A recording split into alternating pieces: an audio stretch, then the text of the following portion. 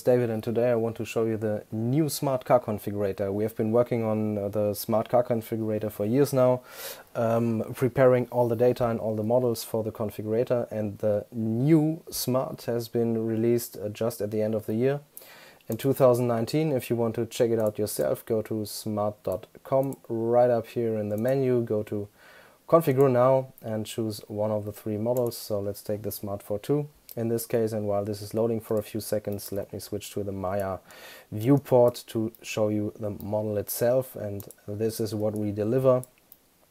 You immediately notice the high resolution for this fender right here. Um, the reason is we have um, a workflow that perfectly recreates the reflection behavior just as the CAD data. The only limitation of course is the tessellation and the resolution of the mesh itself. It's the very unforgiving Maya viewport. And you see if we just switch to uh, subdivision and subdivide the surface the reflection looks perfect. So it's just depending on the resolution of the mesh. And um, because we have a higher resolution right here we have less issues in this case. So all the parts really recreate the beautiful CAD reflection and this is one key component to uh, the quality we can deliver. On the other hand, we have beautifully um, modeled meshes with a great edge flow. If you want to delete some edges for any reason, um, you just simply can select the edges and just delete them and it still works. This wouldn't be possible with uh, crunched and um, just reduced data. If you use CAD data and um, in a lower resolution also this wouldn't be possible. And uh, to our experience we put a lot of work into research and developing our processes and tools and this is the really the best result you can get. Also we deliver completely animated data. So right now let me switch to the car configurator which um, looks like this when it fires up. And first let me take a more um, beautiful uh, configuration. Um, this is already looking really nice with this rim. So now let's just use a little bit brighter color yes that's what I like. And now switch to the environment and you can see they did a beautiful job instantiating our data. And let's open the door. As promised switch to the interior. Oh, let me go to full screen. It looks just better. And you can see um, the different parts. Everything is modeled really with a lot of care for detail. So while we're here, let me switch back to Maya and go right inside. For example, um, all these little details are modeled meshes, so you don't have to use a texture. For some um, purposes, textures are uh, the way to go, but you don't want too much, uh, too many textures. Also, not uh, too high resolution of the textures in your model so you get a lot of performance. Even on older mobile devices this is running really smoothly. Um, we deliver textures for every single part like usually a normal map and an occlusion map. Um, if there needs to be a color map like here, of course this as well. But as I said, um, all the different uh, little icons are very good um, if you don't use the texture, if you just model them, um, you get a lot of, uh, you get a great result. It's not uh, filtered in some way, it's really sharp and it's just doing the purpose. Also, you can illuminate the buttons if you want to. So this is the way to go. Another nice thing are those seams down here. So let me go right there and let me hide the wireframe. And you can see this is a tiled texture, tiled over and over again. Um, same for the um, for the mats in the uh, foot compartment. Um, I'm missing the word right here. for the Fußmatten im Fußraum, uh, it would be in German. Uh, same goes for the stamp on the windows. Also same technique. So all in all, this is 375,000 triangles.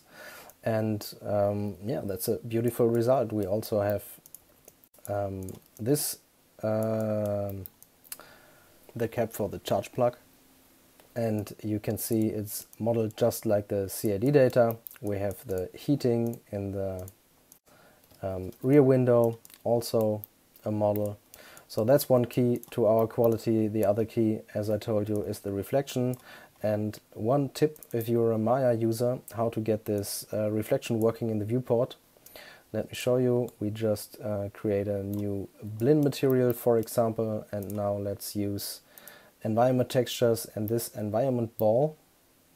Let's put that into the reflected color. And for this environment ball, because I'm working with z-axis as up axis, let's check eye space so the reflection is in the correct direction. And now if I put my texture in here, you can see this is working perfectly and I still can tweak uh, different properties of the material, but the reflection is working. You can also dim it. Um, what you can't use in the viewport would be some kind of Fresnel effect. Um, also, we just use it to check and it's just to illustrate the purpose. Um, the shader right here is using um, a little Fresnel effect uh, for itself because it's encoded in the shader. In the Maya viewport this is not possible, but if you have ever asked yourself how to do this, the environment ball with a um, texture put in there is the key to get some very good reflection in the Maya viewport. Now let's go back to the car configurator, go back to the interior again because it's just so super nice to look at this online. I can also look at it on my cell phone. Um, I encourage you to visit the configurator, play around for yourself, um, look at some, for example, this right here, the digital radio, you get another perspective. And let's go back to the exterior. And uh, that's about it. There's a lot more, like I could show you thousands of texture maps that have been baked and meshes over and over again.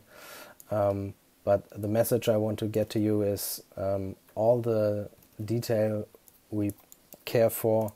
For example, let me go to this area right here. Um, we model every part you need to see and for the parts you don't need to see we use uh, just a black box um, to close the geometry so you can't look through all the holes. Um, the very challenging part is to make black boxes for first of all for animation so this is working and another thing is you need uh, the back boxes to work in every different configuration. So not all the steering wheels are the same, not all the seats are the same. Um, the lights, uh, there are two different kinds of lights for all the different models. You have a lot of different rims and uh, so on and so on. So um, for every different configuration, uh, you need the black boxes to work. So where to put them, how to use them, and all that together gives you this beautiful mesh and you can use it in this beautiful way. Also, if you want to put this to Unreal, to Unity, to some real-time engines, absolutely no problem.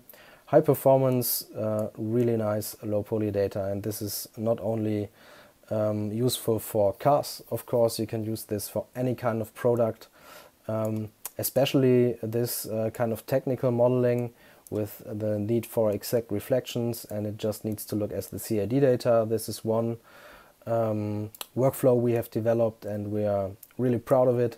But another thing, if you want some uh, like organic modeling, also no problem. We have put years into research, um, especially for this. Um, we deliver the shaders completely ready, um, so you can adjust the properties like reflection, environment, color, and so on.